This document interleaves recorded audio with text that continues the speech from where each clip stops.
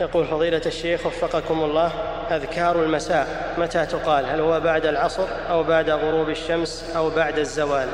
تقال بعد دخول المساء وقت زوال الشمس أو بعد العصر أو بعد المغرب المهم بعد الزوال مباشرة أو بعد بعد فترة. ما يخالف. نعم.